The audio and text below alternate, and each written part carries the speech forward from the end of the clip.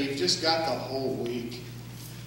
You can just be footloose and fancy free. Just enjoy everybody. Watch the guys who are coming up to speak and think, yeah, they're, they're worrying about it, you know, and you think you got it all under control. And this morning I had uh, got up at, at 7 o'clock to hear Pastor Wes speak. And, and uh, last night I was working on my message a little bit. And Wes started reading the scriptures. And, uh, and this is what's going on in my head man, he's reading a lot of scriptures. What's I don't I wonder what Pastor Walgass was speaking next. Dan Walgass, I'm thinking, I wonder what Dan's going to speak on. Man, he's getting into his verses. And I'm thinking about that. I'm thinking, man, I don't know. And, and I think, man, I got a lot of verses to deal with. And then I took my form out and realized that I had been studying some of the wrong verses. You know, you think you're right and everybody else is wrong, and then you realize, no, I was wrong. And then I'm sitting there. You know, I was awake through your whole thing, Wes. I mean, I was on edge then. I mean, I'm. No, no, no. And then uh, to make matters worse, I had seven points. And I told Pastor Andy Kern, I said, I said, I told you what my seven points were a week and a half ago. Why didn't you tell me I had too many? He goes, I said, I'm going to have to knock it down to at least five. He goes, Well, maybe that's just better for everybody. so I fired him. So it was awesome. So uh, maybe it's just better for everybody.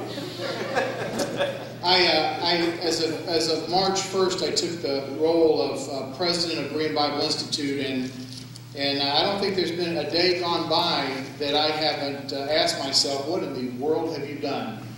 And uh, just, you know, knowing that it's in the Lord's hands and it's His ministry, and, and I want to be faithful to that. And then we'll take every day as it comes. Um, but your role changes. Your role changes from being an instructor that goes home and then you don't think about classes unless you have something to do necessarily. You go back to the office on Monday and you get ready. Now it's you think about it all the time. And, and, I'll, I'll, and I'll honestly say I like that. I really appreciate the ministry of Berean Bible Institute. Um, but one, two things that I've discovered, and one of them has to do with what we're going to talk about tonight. One is the appreciation for Dr. Bedore and Linda Bedore. Um, because I, I now, in that role, see all, from a different perspective, all of the work for over 15 years that they have poured their heart into that ministry, and still do, by the way. And, and all of the writing of, of uh, of handbooks and different things that, that uh, the structure of a school that it takes to run a school and, and the decision making that, that goes into that and the tough decisions that they have to make and, and I've appreciated that. The other one is this, and it does, uh, it does deal with what we're going to be talking about tonight is um, I am blessed to also see how God uses members of the body of Christ to support that ministry. I made a statement the other night that we couldn't last a week without God's people giving. And I know I see uh, Pastor Ricky shaking his head because BBS is the same way. You just couldn't. And, and, and it's just it's, it's just it's humbling when you see uh, people giving to that ministry and I don't know who they are. I've never met them before. And, and yet they see that as something important and, and you just are humbled. I write a I write a, a donor letter every month, um, part of my responsibilities now, and I actually really enjoy it. Uh, in that donor letter, I, I, try to put in there um, uh, something, one or two things that's happening currently at the school, but I also try to convey to our, our donors that when they give, every time a teacher teaches, a light goes on, Every time uh, we enter the building, every time something happens there, every time a graduate, graduate a, a, a student graduates, it's as a result of their partnership in the ministry. And you can say that about your local churches as well. I'm not just upholding BB, BBI, but it happens at BBS, it happens in your local church. And we've got to understand that we're part of a bigger picture. Right. It's, it's, it's, about, it's about the body of Christ coming together and, and supporting ministries and supporting each other and encouraging each other. And uh, it's, uh, it's just it's, it's to realize that we're part of something. And um, we're part of something big. And God, God has a role for each and every one of us in that. And uh, take your Bibles and turn to the last chapter of Philippians. And um, I'm going to actually read verses that weren't assigned to me because it's the last night and I can walk all over everybody. Um, but I'm just going to read these verses because they do. Uh, I don't have seven points, I only have five, but they do give some, some background, they do apply. Um, at the end of the book, verse, verse 10, and we'll read to the end and just follow along. It says, But I rejoice in the Lord greatly now at, le- at last your care for me has flourished again. Though you surely did care, but you lacked opportunity. Not that I speak in regard to need, for I have learned whatever state I am in to be content. I know how to be abased, and I know how to abound. Everywhere and in all things I have learned both to be full and to be hungry, both to abound and to suffer need. I can do all things through Christ who strengthens me. Nevertheless, you have done well that you shared in my distress. Now, you Philippians know also that in the beginning of the gospel, when I departed from Macedonia, no church shared with me concerning giving and receiving, but you only. For even in Thessalonica, you sent aid once and again for my necessities. Not that I seek a gift, but I seek the fruit that abounds to your account. Indeed, I have all and abound. I am full, having received from Epaphroditus uh, the things sent from you, a sweet smelling aroma an acceptable sacrifice, well pleasing to God. And my God shall supply all your need according to his riches in glory in Christ Jesus.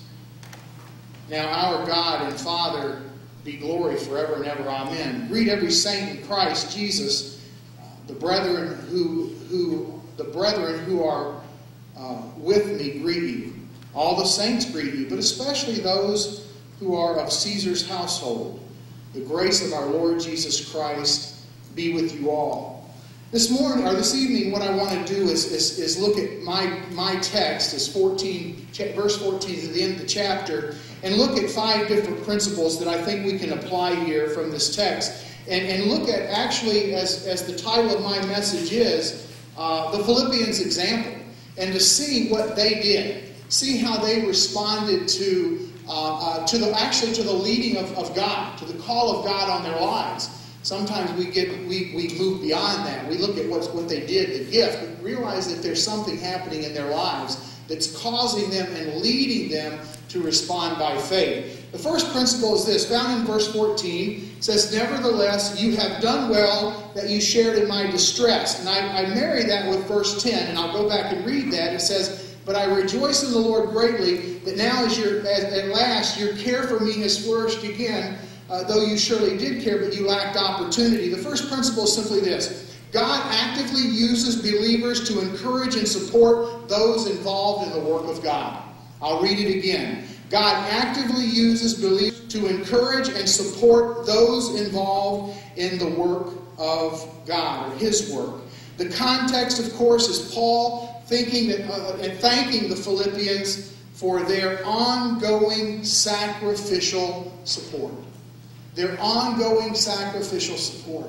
In every, every commentary I've looked at, when they say, What is the purpose? What is the theme of Philippians? One of them is a thank you letter for what they have done to the Apostle Paul, their support of him, their encouragement of him, their financial giving to him. And, and people weird when we talk about that. And, and I think I think that there doesn't that we don't need to be that way. We realize it's between us and God, and it's God leading to give. And God gave God used this church to give to Paul's ministry because of the work of God in their lives. And, and not, not manipulation, you know, not a TV ministry, but the work of God in their lives, and out of that, they wanted to support his ministry. A couple of things that I want to I want to kind of go back through the book of Philippians. Uh, now, now is when I get to go back and talk about what everybody else talked about. Um, I did learn something this week. Never go fishing with Ken. or if you do, wear a helmet. I like that. That was good. Um, or turn your back when, he, when he's pulling on something. But anyway, look, I just want to look at this. Look at 1 7. We're going to hop, skip, and jump through this, through this book. And uh, just, just notice, Paul viewed um, the Philippians as partners in his ministry.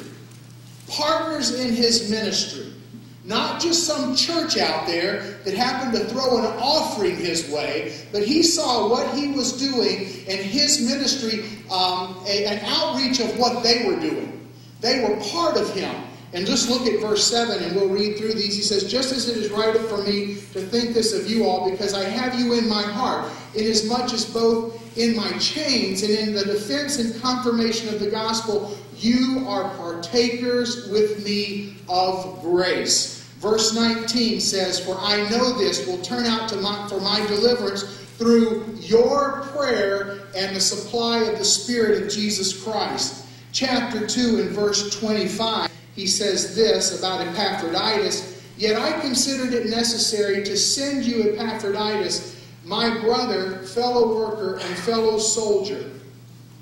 But your messenger and the one who ministered to my need. And he uses and looks at Epaphroditus as one and he recognizes he is one of you, Philippians, and he was sent here to me by you to carry a gift to me, and I'm sending him back, but but but he's your messenger, and he's one that you sent to minister to me. So even in sending Epaphroditus in his ministry, Paul, I believe, views that as a part of the Philippians partnership.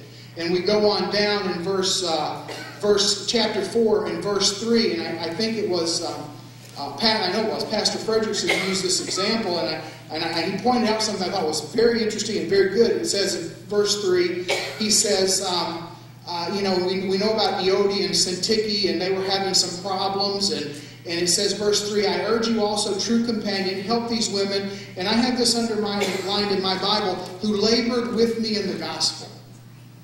Now, he's talking about some conflict here.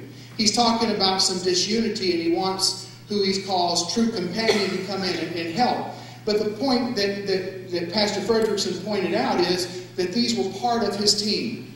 We're not sure what part, but they were fellow workers. They were a part of, of Paul's ministry. And, and we can't get beyond that. He viewed them as part of what he was doing uh, chapter 4 and verse 10, and we've read this, he said, But I rejoice in the Lord. He said that now at last uh, your care for me has flourished again, though you surely did care, but you lacked opportunity. Um, Paul saw that their care had flourished again for him, and he recognized them as part of his team. And uh, we find that Paul viewed uh, the Philippians as being a part of what he was doing. But there's another side of this. I, I, don't want us to just view this as Paul is recognizing their resources and recognizing that they were good enough to send Epaphroditus to help him out and to, to, to, bring a gift to him. I want us to understand something else that not only was that happening, the actual physical aspect of Epaphroditus going to Paul, the actual physical aspect of money changing hands or, or some type of, of help changing, changing hands, but to understand that Paul understood what was happening that it was that God was working in this church and using them in the furtherance of the gospel. God was at work. Chapter 1 and verse 19, fire, fire yourself back there and just kind of, we are going to settle in our text here a little bit more.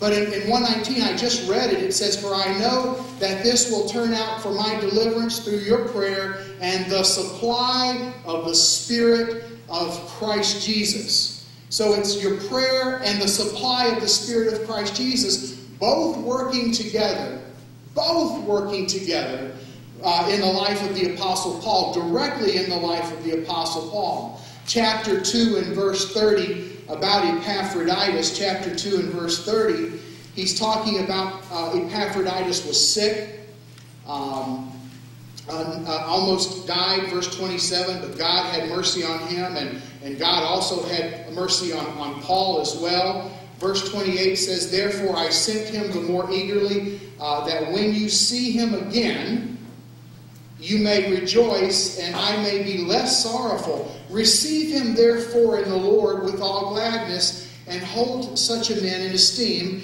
And I just, I just want to point this out, verse 30, because for the work of Christ, he, became, he came close to death, not regarding his life to supply what it was lacking in your service toward me. That, that statement, because of the work of Christ. Did, did Epaphroditus have an assignment? Yes. Did he have a purpose? Uh, yes. Did he do an act of service? Yes. But Paul says it's because of the work of Christ. We can't lose this fact that God is at work in this situation. God is at work in these actions, in these acts. It's not just a check that you sign and put in the offering plate. God works through us. It's not just the fact that, yes, I have to show up early or I show up early to church to set up the chairs or to make the coffee. We need to realize that God uses that to, to support the body of Christ. Uh, verse 10, as, as uh, we read uh, in, in, chapter 4, verse 10, we won't read the whole verse, just read the first line. But I rejoice in the Lord greatly that now at last, who cares? What, was, what does that say? It says that Paul recognized what? It was God at work. Don't get caught up necessarily in what was happening specifically, although that was important and Paul identifies it as such, and we'll look at that further. But, but understand this he saw those, the Philippian church, as partners in what God had called him to do, and he also saw that it was God using them and working through them. They were instruments. They were instruments in his hand. We cannot miss this, what I call, and you might have a better term for it, a divine partnership. And I believe it's a divine partnership with every believer. It's not just the Philippian church, it's every believer that names the name of Jesus Christ, that knows Christ as Savior, that is part of the family of God. God desires to use us in a divine partnership as instruments in His hand. But, but I'm not sure. I'm not, I don't know what to do. I don't, I'm not trained. I asked this student in chapel uh, some time back, you know, what are, what are, why do people, uh, what keeps people from serving the Lord, I think was the question. And, their first question is not trained enough. Uh, you know, their fear of failure. And listen, I believe in training. That's what I do. I think that that's essential. Um, not, not, I'm, I'm scared. And, and one of them is, you know, it's, it's, it's, it's uncomfortable. And we've heard this statement, uh, stepping out of our comfort zone, right? Um, I thought about that. And, and I thought about it maybe a little deeper, and I think there's another issue here. It's not comfort zone, it's control zone. When I step out of my comfort zone, I give up control. That's why it's so hard. I give up control. Listen, in my comfort zone, and when I'm comfortable, I am in control.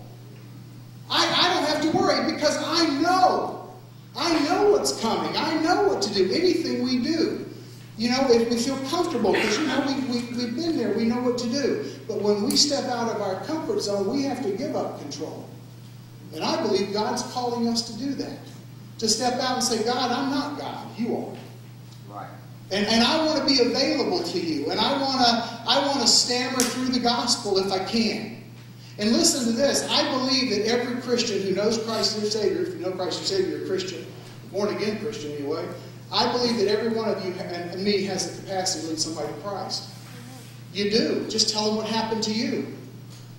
We get so worried about how do I tell my testimony. Listen, your testimony really isn't about you. Your testimony is about what Christ has done for you. Right. So anyone can do that. God wants us to simply to be available and faithful. And uh, we, I just don't want us to miss this divine partnership. This last year at, at Bible Institute, um, our uh, theme was found in, in, Philippians chapter 2. Turn there. Um, I spoke to the senior hires on this, this passage here, and uh, I promise you, you won't hear this again, so I won't stay in it, but, but I have to go there. And this, again, is a perfect example of that divine partnership. Um, verse 12, he says, Therefore, my beloved, as you have always obeyed, not as in my presence only, but much more in my absence. One of the things I pointed out there is, is it's easy to be a Christian at church. It's easy to dress nice and talk the right way, but when we're by ourselves or out there in the world, or, you know, sometimes it's a little more difficult. But he says, I want you, to, as you have obeyed in my presence only, but now much more in my absence. He says, work out your own salvation with fear and trembling. And it's been preached on this week, and I'm not going to go into great detail. And then he goes on, he says, You, believer, Philippian, work out your salvation with fear and trembling. And then the very next verse, for it is God who is at work in you both to will and do for his good pleasure. He says, step out and God will work. Out your own salvation with fear and trembling. God uses us if we will step out of our comfort zone. Something else in the life of the Philippians is we find out that there was there was not only different aspects that Paul used, like uh, talked to them about disunity, he talked to them about um, uh, their negative, there was some uh, bad teaching uh, about the flesh and circumcision in chapter 3. Uh, he talked to them about what was happening in his, in his imprisonment, a number of things. But he also, in chapter 1, verses 28 and 29, he talks about what? He talks about their, um, their uh, um, the trials that they were going through. He says, he says, uh, and not in any way terrified by your adversaries, which to them is a proof of perdition, but to you of salvation, and that from God. For it is for to you it has been granted or given on behalf of Christ, not only to believe in him, but also to suffer for his sake. Where am I going with that? And I'll just say it simply, as Paul demonstrated in his life um, this divine partnership also uh, goes to our trials and tribulations. God wants to use us. God wants to use what we've gone through for His glory. He doesn't take us through that just as a good thing. I mean, we do some really dumb things. We do some things that aren't of God, and they get us into a lot of trouble. But God can use that all things work together for good. You know the verse? Romans 8.28. You know, we like Romans 8.28, and I love it. Because that's another one of those God at work verses. Uh, in all things. But you know what? The answer to, to, to Romans 8.28 is 8.29. That's the why. So that we can be, we are formed to the image of His Son. He allows those things to happen, and He works in those things to happen. And as uh, Pastor Ken said, he it's like that big rock, and He's chipping away everything that doesn't look like Christ. He uses that, and He works in our lives. This last two weeks ago, three weeks ago, I went down and I spoke at a camp in the South, in Alabama, my hometown, my home uh, area, hometown. And um, I'm, I'm, I was their speaker spoke at a couple of churches, and I'm sitting there getting ready, you know, probably an hour before the session, and this woman sits down next to me. I know her. I, I kind of grew up with her in youth group and so forth as a kid and teenager, and she's my age or a little older. And we started talking, and she was telling me about, you know, you remember when, you know, when we were in youth group, yeah, yeah. You know, our family moved off to Tampa. You know, we were gone for a while and came back. Yeah, yeah. She said, well, I don't know if you knew this, but when we got when we went there, I, I had gotten a, I got pregnant, and I got an abortion. I said, I know that, and uh, come to find out um, that she went, their family went there to to, uh, to to Tampa, moved off, and she started walking away from the Lord, and she got pregnant. She goes to her Christian mom and, and you can imagine this young lady knowing what's right and knowing that she did wrong. Getting pregnant and having enough courage to go to her mom and say, Mom, this is what's happened. And her Christian mom, rather than being embarrassed, just told her to go have the abortion. And, and I know the mom too. And, and I just, I, as I say that, I just shake. I'm just, I, am just, I, it just is sad. Well, that devastated her because she knew she did wrong and she was going to someone she could find an answer for to help her do something right for a change. And then she started spiraling. She had another child out of wedlock, gave the child up for adoption. That child, by the way, is an adult. She knows it. He's a believer. Okay, we praise the Lord for that. She has a child now from her husband and so forth. But as I sat there, I'm just, I'm just amazed. And, and, and so, say 30 years ago, this was happening. And she said, Robert, for the first time, I can tell somebody about it. Because now God has worked in my life in such a way that I can actually share that with someone and know that God might use it to help someone, not go through what I did. Really interesting that she shared that with me. At that camp, with all these teens, some Christian, some not Christian, I sat down and I talked with a little girl. She was 12 years old looked like she was 25. I, I wouldn't have known she was 12 if she had told me. She sits there and she said, Yeah, I said, Well, how are you doing? You know, do you, do you come here and go to church at, Forest Park or Grace Church here? No, yeah, I do. I go to the kids' club or go to CBC or whatever it was. And I said, Okay, does your mom and dad go? She goes, My mom and dad are, um, are in court today. Well, why is that? Well, you know, we were living with my grandparents and they got in an argument when my grandparents and I, we were gone somewhere. My mom and dad burnt the house down. And now we're just living somewhere else. And, you know, and it's, and, you know, and it's that kind of life. Found out another little girl at the camp had been 15, 16 year old dabbling in prostitution. Whoa, that's not supposed to happen that way. What I also found out is this that at the end of camp, they were going to get the girls together for a spa night. And this woman was going to share her story about what God had done in her life over 30 years to bring her back from all of the junk that she she faced. I don't know what kind of junk you faced. We all have our stories. And it, it could be terrible. But you realize that God can use that in some way to help someone else. You say, well, how do you know that? That seems kind of odd, kind of a stretch. Go to 2 Corinthians chapter 1. You see, I believe firmly that God uses the Word of God as the key in our lives to strengthen us, to cleanse us, to establish us, absolutely. But I also know that God uses circumstances in our lives to make us and bring us to conformity with Himself. But I also know this that He uses circumstances. If you look at 2 Corinthians chapter 1 and verse 4, he says, um, blessed, verse 3, Blessed be the God and Father of our Lord Jesus Christ, the Father of mercies, the God of all comfort, who comforts us in our tribulation, that we may be able to comfort those who are in any trouble with the comfort with which we ourselves are comforted by God. God uses the trials and tribulations that we go through to strengthen us if we will look to Him.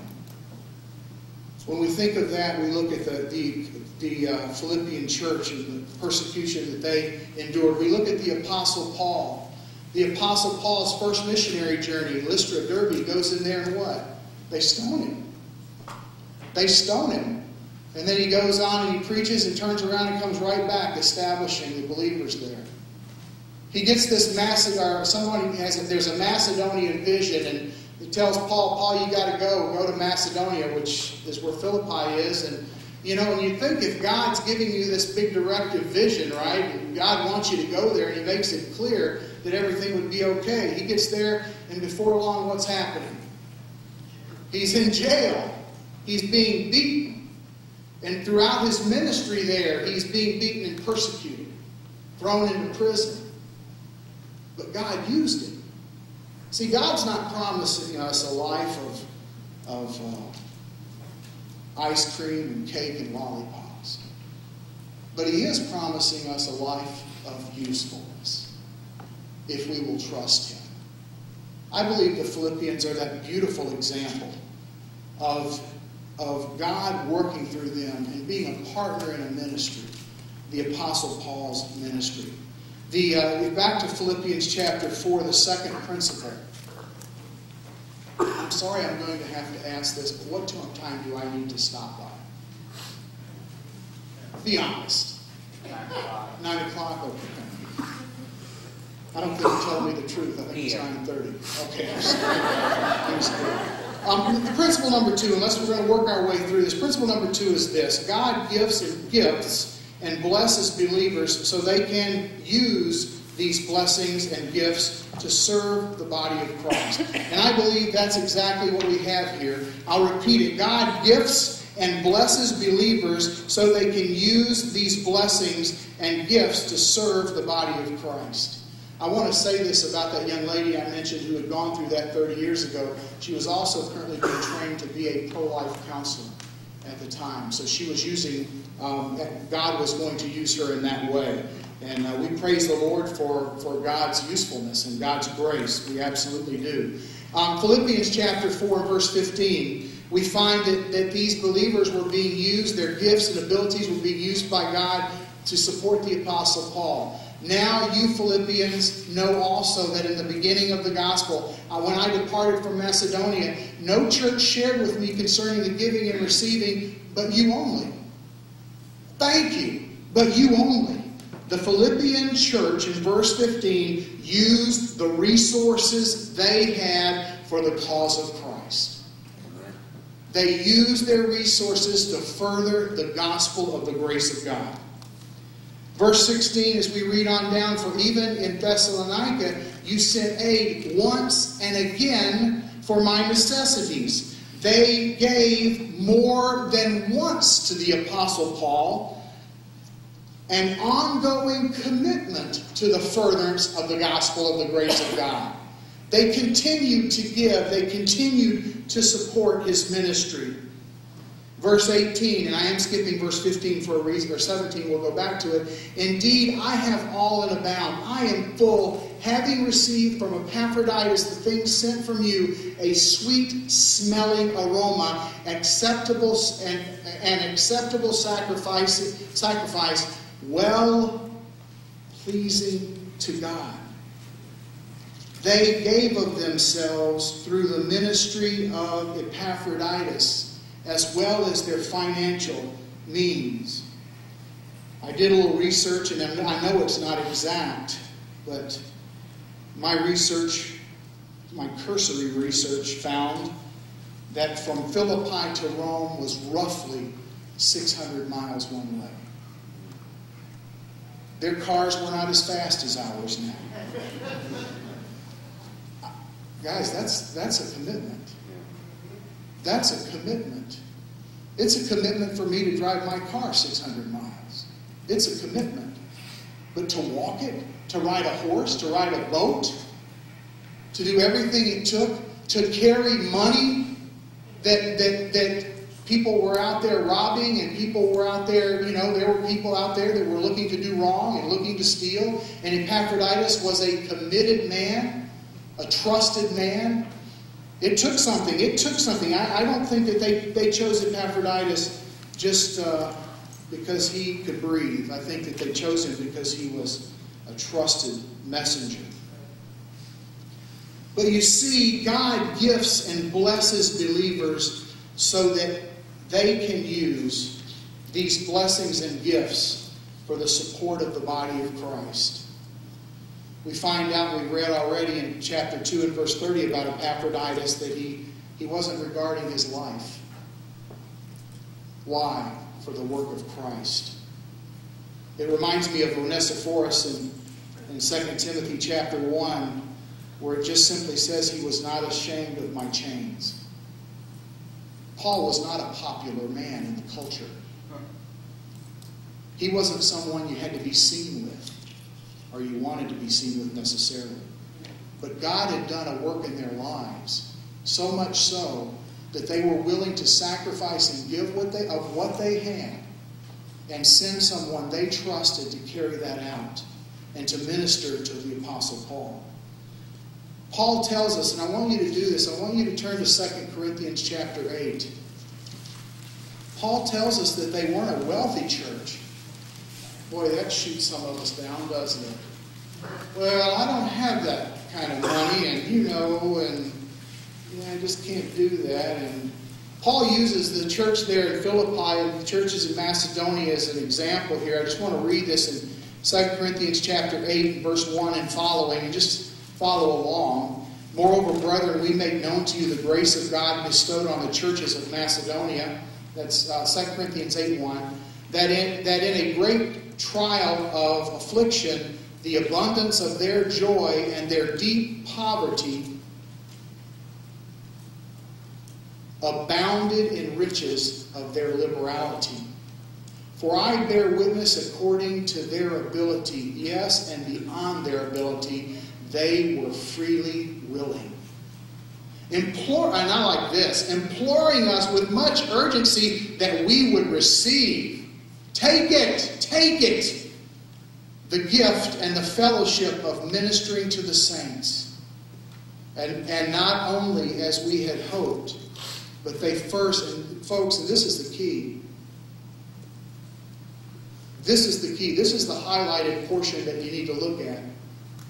And not only as we had hoped, but they first gave themselves to the Lord, and then to us by the will of God.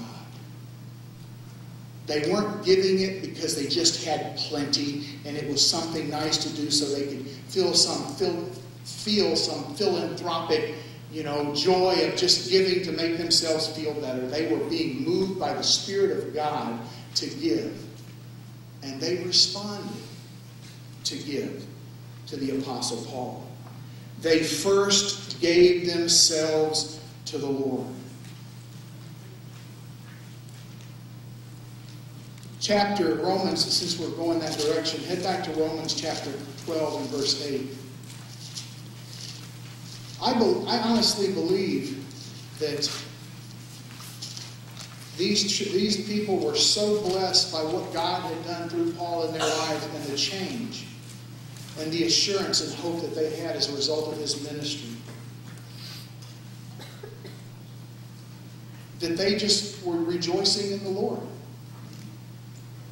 And as a result of rejoicing in the Lord, they wanted to meet the needs, and they could do that. Not because they were wealthy, because they were led by the Spirit. Chapter 12, verse 8 says something really interesting, and some of you may not agree with this, and that's, that's okay. There's plenty of room for disagreement. Um, in, in, when Paul lists the gifts here in, in chapter 12 of, of Romans, and I believe that they're gifts for the body of Christ, he does mention prophecy, and, uh, and I agree that the revelatory gifts are not for today since we have the Word of God. Um, but let's just look, look at this. He says, having then gifts differing according to the grace given to us, let us use them. In prophecy, let us prophecy in proportion to our faith. Of ministry, let us use our in, in our ministry. He who teaches in teaching, and he who exhorts in exhortation, and he who gives with liberality. He who leads with diligence, he who shows mercy with cheerfulness. And the, the, the uh, Old King James, I mean, New King James here uses the phrase, um, I believe, simply or in simplicity. Is that right? Is that right? And, and I was just looking at that, and I'm just trying to look at and kind of get a feel because it is translated differently in New King James of liberality. Um, but I believe he's talking about a gift of giving. I believe it's in the list, you know, and I think that he, he not, and I, please understand this, I believe he calls every believer to give. But I do believe that they're special, God uses people specially and, and blesses them specially to give. And, and this idea of, of, of simply or, or in simplicity or, or, I believe the idea is, is, is more so of a purity of giving. It's not a show. One, tra- one commentator says the idea it's possibly from a pure heart and privately. And I like that because, it, because it's not someone who's walking around saying, Look what I've got It's the person who the Lord has blessed, and as a result of his blessing, and I mean monetarily blessing in their lives through business or whatever, they the Lord has moved them to give, and they give. I've been involved in churches where I've seen people like that, and you wouldn't know them. They don't walk around like that with the gold chains and cufflinks, and you know, and the and they don't, and they don't necessarily drive Mercedes or whatever, but boy, God has blessed them and overwhelmingly blessed them. Right. And they write a check for ten thousand dollars, or they give stock to something, or they and you you know, and you don't never know it, and all of a sudden there it is. I believe God does bless people that way, and I believe God uses people that way. I, I will say this: He wants every one of us to be, to be a cheerful giver. We'll look at that passage in a moment. But I also believe that he uses people that he has blessed in a great way. Paul said he knew how to be content when he was hungry and also when he was full. And I, I know I'm paraphrasing that. And someone I think said it today, maybe it was Pastor Walgast, that not only is it hard when you don't have, but I think it's difficult for people who are wealthy to let go. But you know what? When it's the Lord leading, it's amazing what happens. But it's only the Lord. It's not out of manipulation. Please, I, am just I want you to know that. And it's it's where He leads you to, to give and to be a part of. And and, and I just I just am, I believe that God uses, and I, I want to repeat this principle because I believe it's there. God gifts and blesses believers so they can use these blessings and gifts to serve the body of Christ. I believe that involves singing as well. It's not here. I don't think the context talks about singing back in Philippians. But if God's gifted you in that way, use it. If it's teaching, use it. Because I think God has a purpose for each one of us. Let's go back to our text in Philippians. Principle number three, and I, I did skip verse 17 because I want to go back here. It's a, one of those verses that you have to take a double take at. I'll read verse 16, 17, just in, in tandem here, as our, in, in, in, order. Um, for in Thessalonica, even in Thessalonica, you sent aid once and again for my necessities. Not that I seek the gift. And I, I, think this is important. I think Paul wanted to convey, and he does it a couple different times. He talks about contentment. I think, I really believe that he wanted them to realize that it wasn't about the money. I think he realized, I think he wants to let them know he appreciated that. It was real, he needed it. But, but I think there was something bigger here. It could cause Paul to say, I rejoice in the Lord for what he was doing. But in verse 17, he says, Not that I seek the gift, but I seek the fruit that abounds to your account.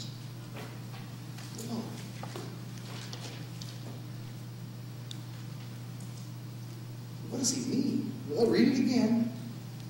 Not, that's funny, I hate these dumb glasses. I, look, I said, I, I, put them on, look in the mirror, and I go, oh my Lord, there's my dad. um, not that I seek the gift, but I seek the fruit that abounds to your account. I believe, and this is principle number three, that we please God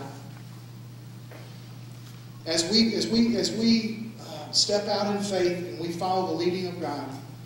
We please God and are given eternal rewards when we give to His work. I think that's what he's talking about. I believe he's talking about a reward. I, I, I believe he's talking about a re- eternal reward here. Not that I seek a gift, but I seek the fruit that abounds to your account. We are told a number of places, too, 2 Corinthians, 1 Corinthians, about the judgment seat of Christ. Well, there will be rewards lost and there will be rewards received. And I believe that's exactly what he talked about. Somebody talked about the idea of leading someone to Christ and having a part in that, being at the judgment seat of Christ and having that as a reward. I believe that's the case. And rewards are a little sketchy for me. I know some people have done great studies on them. I'm not sure that, that, that, that we, we're told enough to do huge studies on what exactly they are and to enumerate them. We don't, I don't know that. I know that God, from this verse, He tells us that there is a fruit that abounds to our account. And he's using it here in the context of, of this church who gave monetarily to his ministry. Here, Paul is declaring that the Philippians would be rewarded based on their partnership in the ministry. Whenever we partner with others in the ministry, we are working together to see that that ministry is accomplished. Whether in a, is a school, a missionary, another ministry, your local church, as God moves on our hearts, we are declaring that, um, that He wants us to be part of that ministry. And He lays it on our hearts to do so. Um, I, over my years, I, I, was in youth work for a long time, youth ministry, and and I, I now my wife and I get get support letters from teenagers and other people going on mission trips. How many of you get those? All right? We can't give to all of those, and we don't. But when we feel led to do so, I love it. You know why? Because I'm not going to Africa in a month. But if I can help that person go, I am partnering with their ministry. And when they lead a person to the Lord in Kenya or Haiti or somewhere else, I'm a part of that. I want to be a part of that. God is using me, and, and like the Philippians, and like He uses you, as a partner, an extension of that ministry. That's why when I said something about BBI earlier, when I look at Pastor Paul Turner or Pastor Matt Ritchie or Pastor Kevin Sadler, others, uh, Justin, all these others, the missionaries that go out as a result of the ministry of the school. It's as a result, their training comes from the school, and we're very happy about that. We're encouraged about that. We want to do it well. But it, when you start breaking it down, our partners are huge. It's not just the teachers, we're partners in this.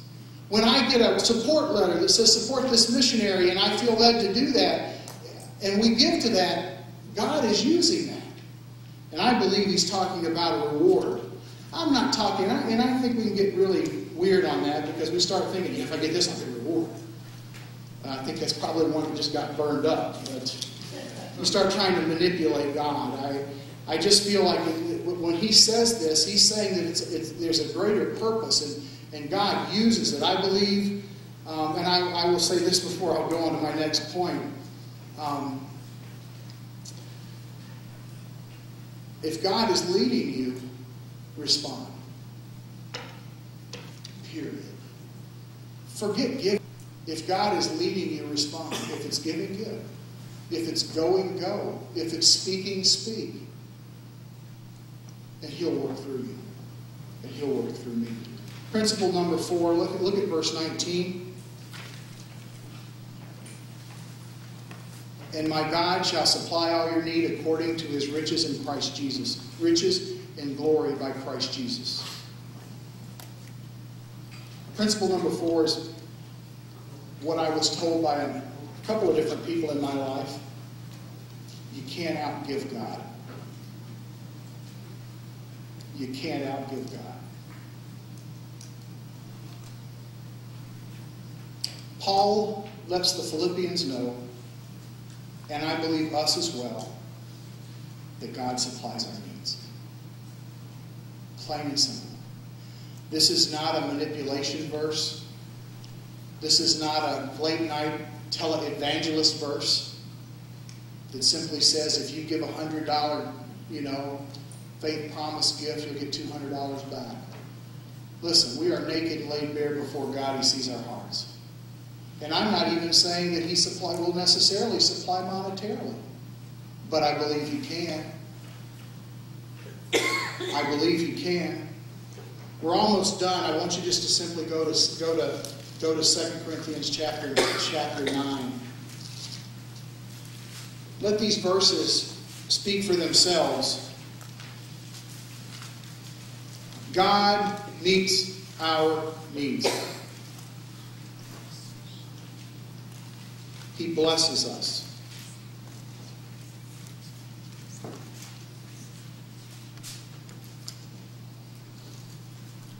Talking to the Corinthians, using the Macedonians as an example and challenging it in the, the, the Corinthians in their giving.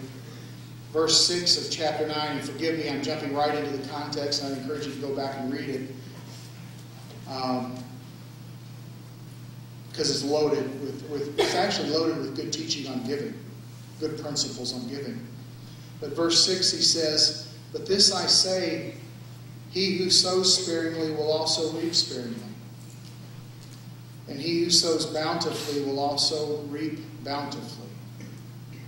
Let each one give as he purposes in his heart, not grudgingly or of necessity for God loves a cheerful giver.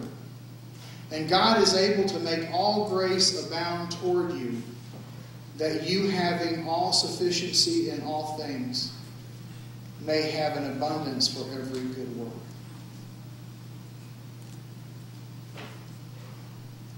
I don't choose to spiritualize that, although I do believe it has spiritual applications as well. I believe God supplies, and God can supply. I honestly believe you cannot outgive God. I believe that when we are led by the Spirit of God to give, He makes up for that somehow. And it may be just simply the blessing of giving and the joy of being a part. It may be that reward that we talked about. But it says, My God shall supply your needs. And I know specifically He's talking to the Philippians, no doubt. But I believe there's a greater message here, and that's that God supplies needs. My needs, your needs. Finally, principle number five takes us down to a verse that really is Paul closing out. But I wanted to bring it out in verse 22. Principle number five is this God